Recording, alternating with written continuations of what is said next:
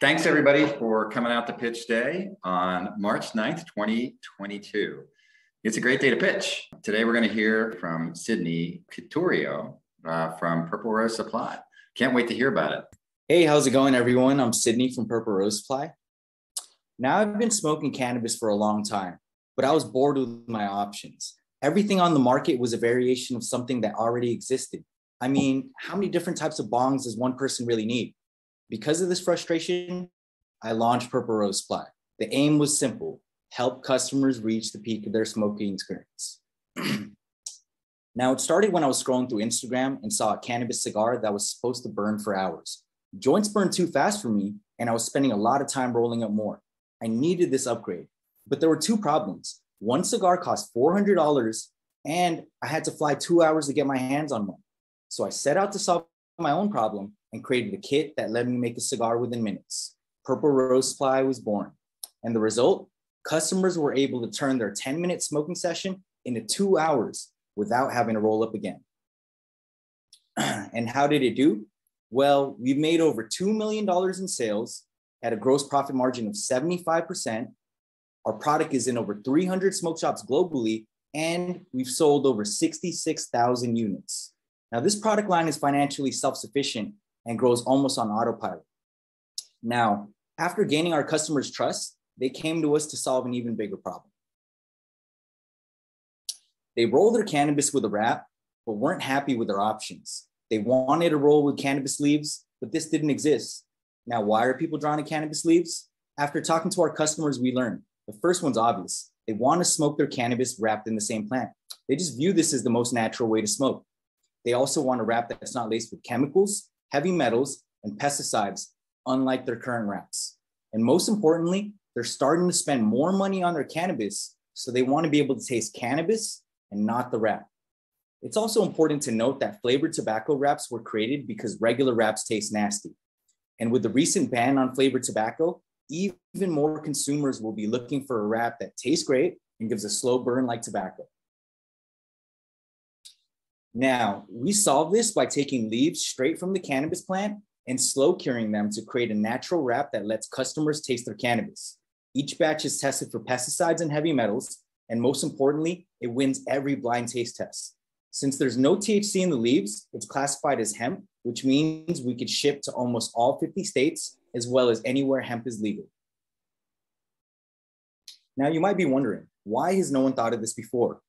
It turns out not only is it a difficult process, but most leaves are too small to make it work. So we started working with a geneticist on a non-GMO breeding program to produce larger leaves.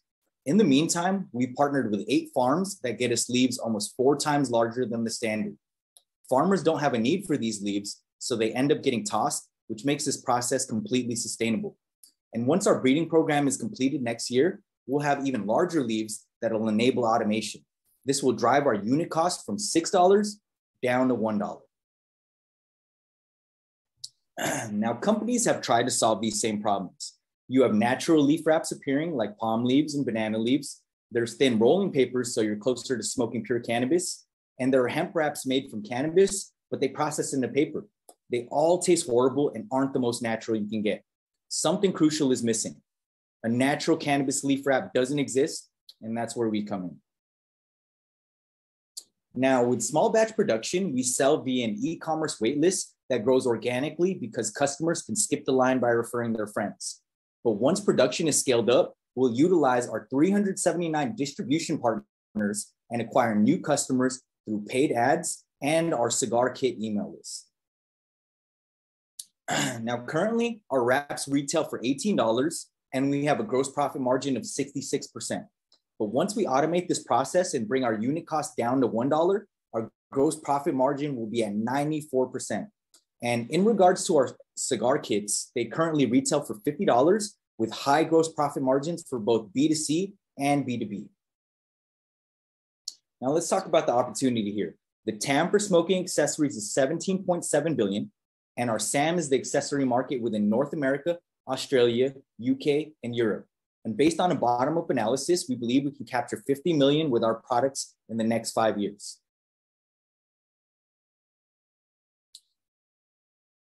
Now, as far as our financials go, we grew 3x from 2019 to 2020. And despite us diverting our focus to developing our cannabis wraps in 2021, we still achieved more than 15% growth with a year end revenue over 1 million. Now, one important call out is that we estimated that our EBITDA in 2021 would have been close to 500K had we not reinvested all of that money into building our cannabis wraps. But with the reinvestment, our EBITDA was still strong at 85K.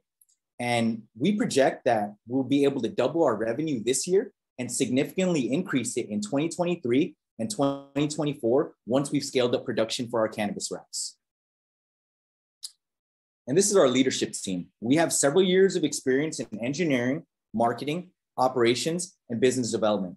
Along with this, we have nine other team members. Three of them are in sales, or three are in marketing, one are in sales, and five are on the production team. This is the team that was able to bootstrap a business that made over $2 million in revenue with no investment, all while building a secondary product line. And we're confident that we could do it again. Right now, we're looking to raise 1 million via convertible note.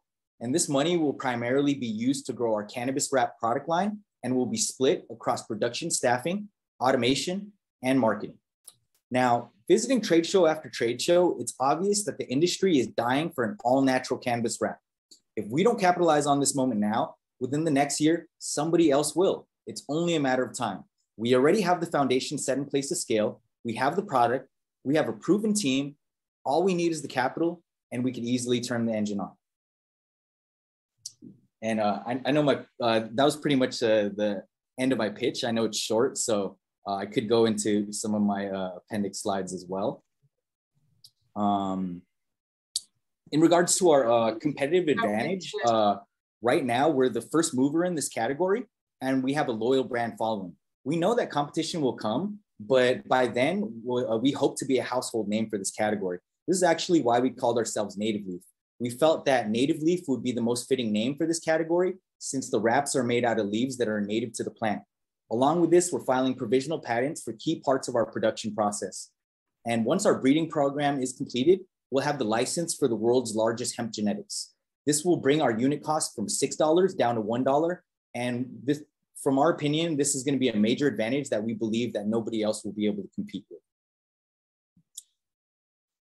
Um, additionally, uh, you might be wondering like why launch the cannabis wraps now? Uh, you know, since 2018, the uh, the hemp farm bill came that made uh, uh, hemp federally federally legal. So just capitalizing on that now before somebody else comes in. Additionally, as I mentioned before, there is a flavored ban on, or there is a ban on flavored tobacco. so a lot of those customers will be coming in looking for alternatives. hemp genetics are also producing much larger leaves than they are before, and from what we've seen and just talking to our customers, surveying them uh, through phone calls as well as Typeform surveys, uh, they're all trending a little bit towards wellness now and uh, kind of leaving that those old tobacco wraps behind.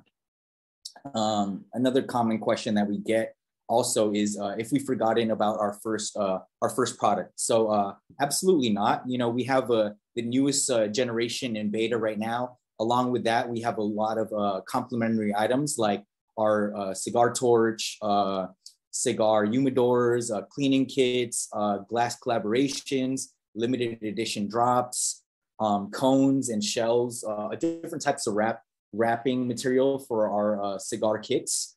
Um, also models to fit existing, um, you know, existing paper cones that our consumers often buy. Um, so we absolutely have not forgotten about so thank you for your presentation.